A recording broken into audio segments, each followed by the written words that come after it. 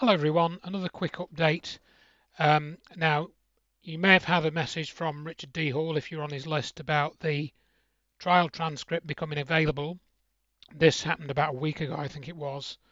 So I downloaded the transcript and I've read through some of it, well, on my ebook reader.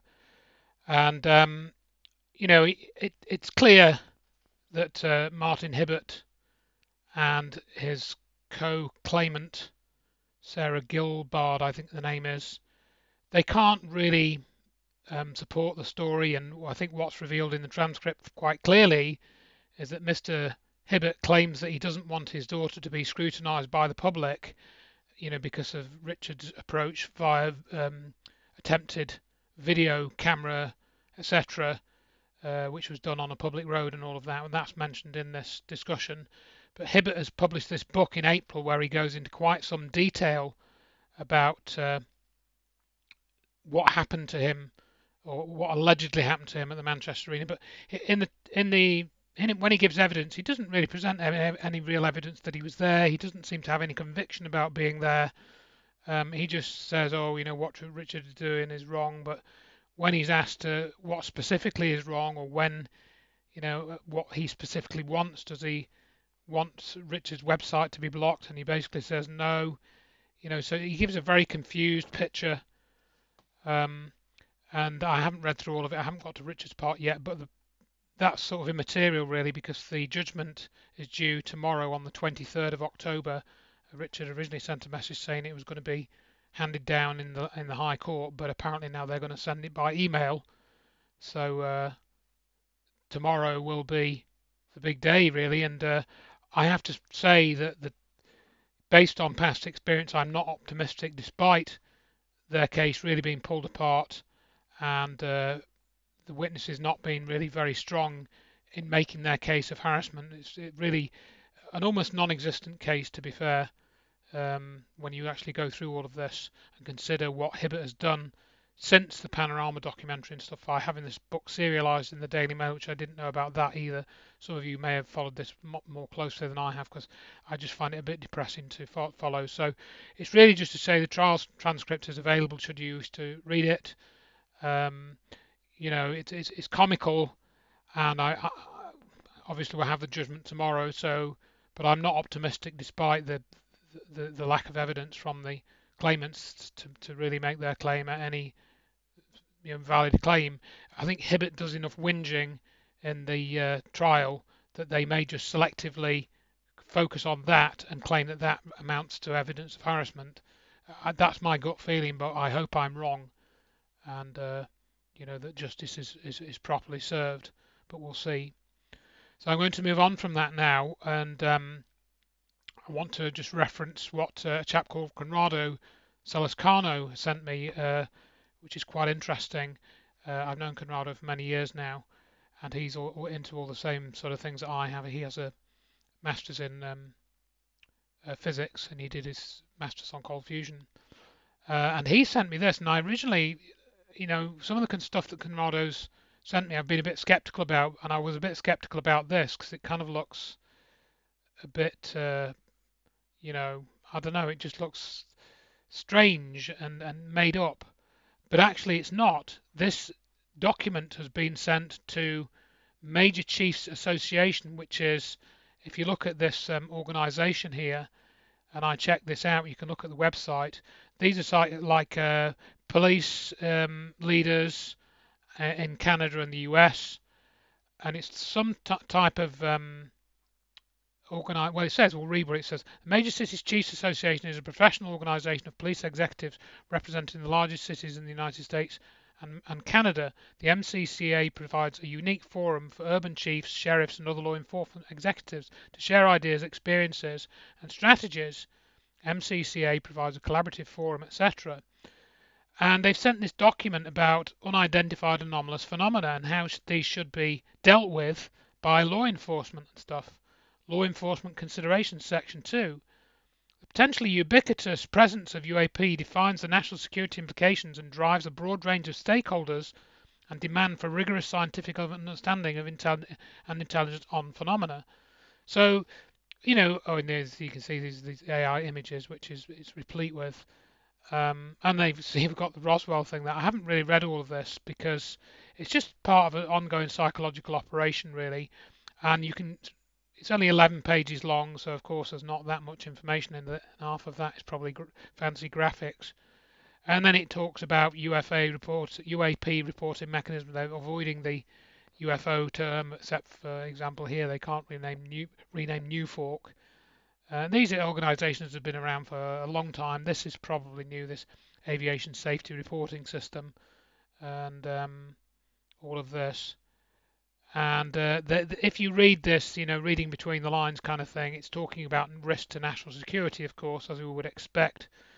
And of course, it's mainly written by largely ignorant people who've just got their news from the mainstream and don't really realise that a lot of these stories have been available uh, for study for decades, you know, so um, really they should be uh, looking more into that, and obviously then you get into the connection to things like 9/11. But you can have a look at this, uh, and Conrado also mentioned this video that I, I, didn't really get a lot out of, but I'll include it here because there's some, some strange sightings going on. So maybe they are ramping up. Let's just suppose they are using this hologram technology or something, Project Bluebeam, whatever you want to call it.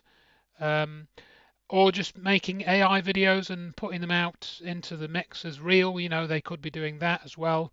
I don't think they necessarily have to use Bluebeam. They can do a fair bit with, you know, just AI generated videos that they can, you know, put out through people and tell a story.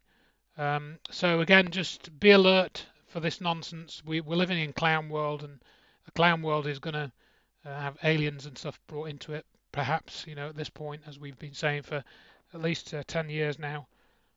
So we'll see this, where this narrative goes. And on that sort of subject, um, Dominic sent me this latest interview with Greer, um, which I listened through to on sort of one and a half speed just to see what he said. He's basically saying the same things as he was 20 years ago. Doesn't mention 9/11, doesn't really mention any of the newer developments that much. Well, to be fair, you know, he does he does say that they're trying to use this as a threat scenario and other risks to national security, but he doesn't go into a lot of detail really, and he just he's just got the same old story going. He does criticise people like Lou Elizondo, but again, he's been doing that for a few years now, so he, you know, he's trying to sort of set up a fake food fight because he's previously admitted that uh, he works for the CIA. And for those that have not sort of come across this before, uh, and my you know research on Greer and my conclusions about him, Please do read my book, Acknowledge, that I'll include a link in the description. And it's chapter 23 in this book, uh, which is about Steve Greer. And I've got 17 pages on him there with lots of links and stuff. So please have a look at that if you are, you know, you want to know more about Greer and what his role appears to be. Certainly, he's responsible for waking people like me up to the, the cover up and aspects about the UFO ET thing, which I didn't know that's how I got going in all of this. So in one sense, you know, I, I owe a debt to him for that. Um, and you know, you can make the same sort of argument about uh, Richard Gage uh, and architects and engineers. They have woken up some people to the falsity of the official narrative, but then of course they've really tried to keep them in that you know lower level, so to speak, and avoid them going down the rabbit hole. Um, so you know you can you can have a look at that and study that and see what you make of it. Uh, and then finally, just for this short update, uh, I'm, I'm, now flip-flopping again on the MH370, and this is really all uh, Matthew MES's fault. um, and um, Matthew Estifu, who runs the um, uh, Math Easy Solutions, he's done many, many videos on 9/11. He's been quite prolific in his output, actually. Um, but he alerted me to certain things about Ashton Forbes that I wasn't fully aware of, you know, and I, he, he, he has mentioned things before, but I mean, like the, the key one, here and I've included this on the on the last update page now um, that I did. So I did an update a few weeks ago, and I've added what MES sent me, what Matthew sent me to that page at the bottom. And so basically, they um, posted on his uh, Twitter you know that they, they he needs to take a look at 9/11 and all of that research and and look at the uh, work of Mark Conlon and so forth in terms of fake planes and stuff. And uh, he just blew them out and said 9/11 uh, conspiracies require a lot of convoluted logic and conjecture. I watched the towers collapse in real time on TV. I watched people jump to their deaths. I'm not interested in conspiracy stuff around it all at all, he says. So he's not really willing to look into the links to some of the stuff he's claiming. Uh, you know, for example, that Bob Greene has talked about whether you know, and he's basing it all on the videos. And MES makes a further case that the videos are actually fake. You know, I flip flopped on this, but uh, he, he has provided more links, um, so you can look at that. So Ashton Forbes does seem to be some sort of mouthpiece for some group, uh, maybe to cover up, you know, what's happened with MH370 again and put another false narrative out there. Maybe some of what Ashton Forbes says is partly true. Maybe, you know, as I've said before, uh, what happened to the plane? It was, you know, transferred somehow with some advanced technology, some teleportation technology. But the videos that he's claiming are real are actually fake. You know, it's so uh, we will have to we'll have to keep following this and um, see where it goes, I suppose. Uh, so I've included the message there. So that's basically uh, it for now, really. I'll just keep this fairly short.